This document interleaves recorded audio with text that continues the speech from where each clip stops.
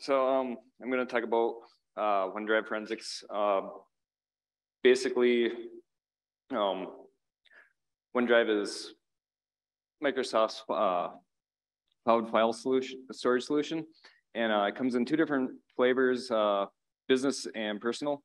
Um, what I'm going to touch on is basically what if we don't have unified audit logs or anything related that's stored in the cloud. Uh, this can become particularly true with on the personal side because we're not going to have the unified audit logs anyways. So basically what is left on the endpoint that we can still grab data from.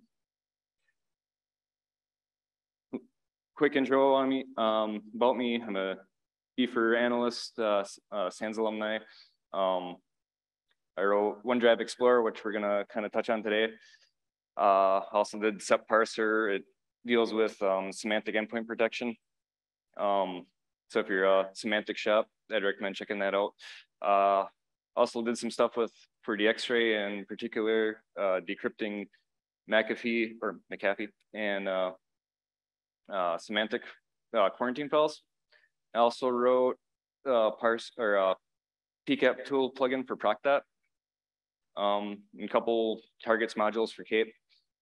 And then uh, you can find my information on Keybase and then the uh, GitHub for uh, OneDrive Explorer. Um, so the agenda for today, we're gonna cover a couple OneDrive artifacts, uh, collection. Um, then we're gonna jump into OneDrive Explorer, uh, do some automation with KAPE, and a little lessons learned, and we're gonna touch on the log files a little bit. Um, so as a, as a warning, there might be a little spoiler alert with this too, uh, if you're taking the FOR 500, because uh, I borrowed the data from there just so I wasn't like exposing any personal data and stuff like that. So, but as far as artifacts go, um, we have local files. Uh, so these would include like the, the default uh, location for your OneDrive uh, files. Um, you also have data stored in the regist in the user's registry um, under the so under software Microsoft uh, OneDrive accounts and also in the sync engine provider, uh, sync engines provider. Um, and we also have some metadata laying around in the uh, user's app data folders. Um, first artifact I want to touch on is the tenants key. And what this key does is it tracks um, the folders that are synced from other, other sources. Uh, it's important to look at this location to find where on the endpoint all these files are stored because um, when they're shared out, they're not always in like the user's OneDrive or Dash, um, whatever company name it is. Uh, they can be stored in other locations.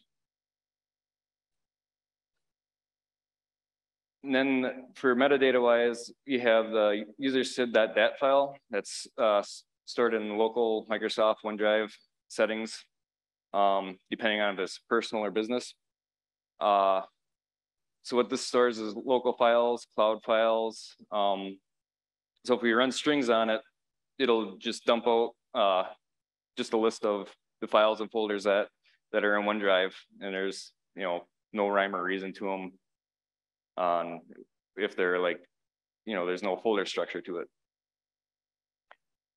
So with this data, um, we can, uh, we know the default location, um, but in, in, order to collect everything, we need to check, check the registry. Uh, once we find all the uh, locations where the files are, then we can uh, start our uh, OneDrive collection.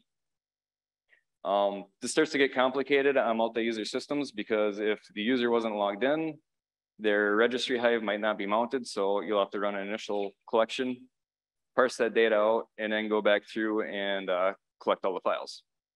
Um, another issue is, is Microsoft uses a reparse point for storing their files. And what this means is not all the files are actually stored on the endpoint itself. This, uh, this is used for saving space and, and um, The issue is if you try collecting against this reparse point, you can actually pull in more data in your collection um, that originally wasn't on the endpoint.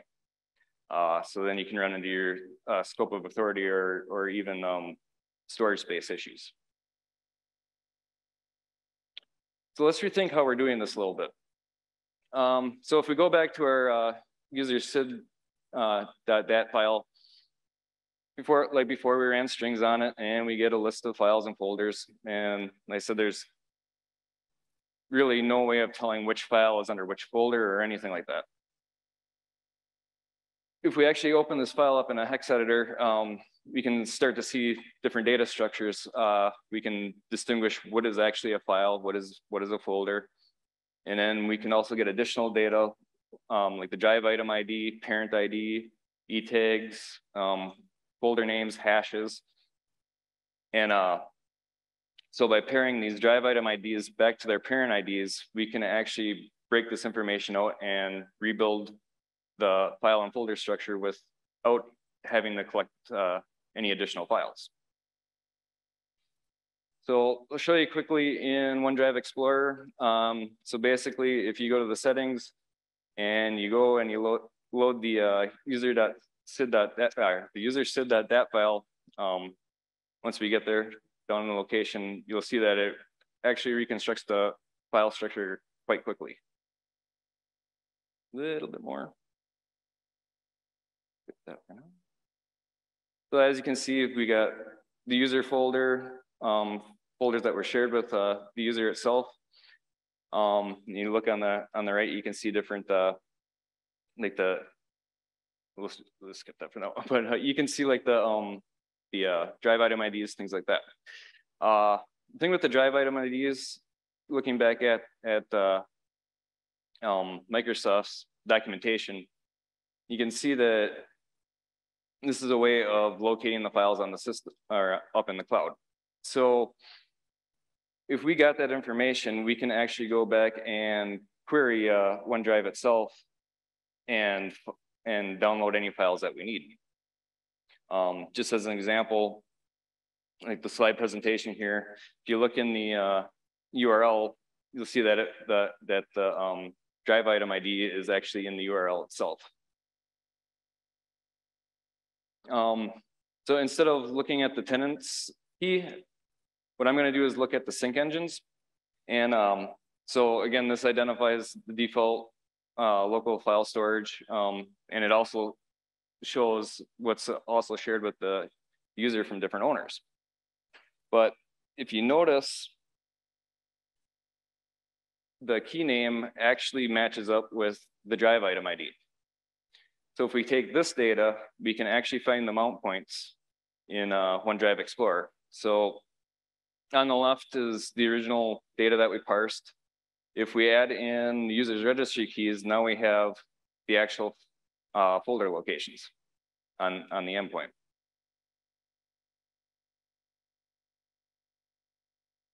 Um, see, recycling bin. Uh, so this information, um, the deleted items are kept on, online in the recycling bin. Uh, they're 30, 30 days per personal, uh, and they're kept for 93 days for business. Um, and if the files were actually on the endpoint itself, they'll appear in the re recycling bin on the file system. Um, so in OneDrive Explorer, we can actually take the end use the recycling bin and we can actually incorporate this data in and pull out more information. I'm going way too fast. so, so if we take this data, um, we go again, we can grab our uh, users, um, uh, user said that that file. As we get there again, load that in, and then we can also grab the user's registry.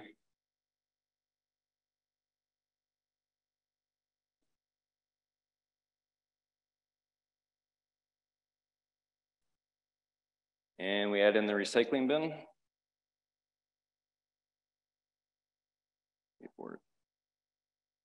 So now if we look at the data, um, we can see that any of the files that were actually on the endpoint that were deleted uh, along with their hashes and um, so then we can take those actual hashes and we can go back up and we can grab and uh, compare that back on the cloud to get um, our actual file. So all this is great, but then um, so automation, how do we how do we go about automating this um, without having to go back and doing multiple collections and and uh, parsing the data and then go back and pull back in what we need.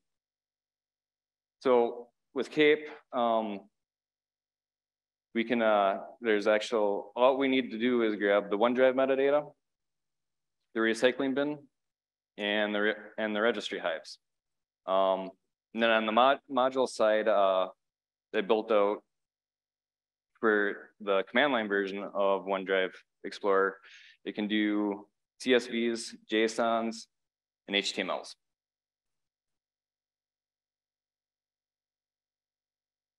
So after running this data, um, depending on what, what we did, uh, this is just an example of the uh, output that we have.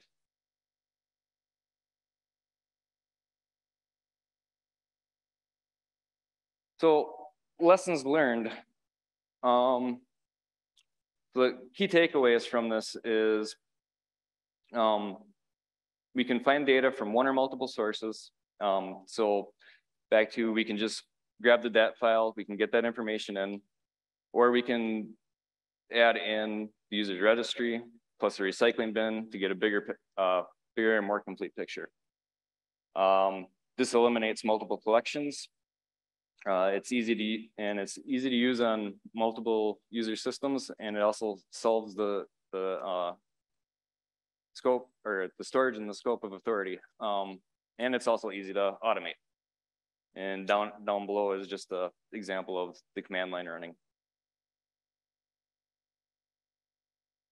But there's one more thing. It's uh, what what about the log files? So these are the um, um, in the users app data local folder, uh, you have what are called ODL logs. Um, and this stores various information like the syncing of OneDrive, uh, user account linking, unlinking, uploading, download, loading. So pretty much anything that happens on the back end. Um, these files are actually obfuscated. Um, Yogesh, yeah, I'm probably gonna slaughter his name. Yogesh uh, had back in February, I think it was, uh, created a parser to unobfuscate these files. And um, the way to unobfuscate them was in the obfuscation string map.txt file. Um, but unfortunately, a couple months later after he came out with this, Microsoft changed things up and this file no longer exists. Uh, now it uses um, some sort of encryption key that really hasn't been solved yet.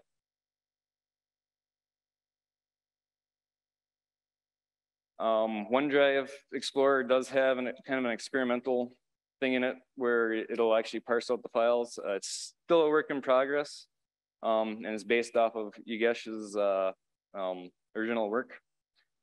And this is just an example of running it against, uh, against a live system and and uh, parsing out all the um, user logs for you to look at.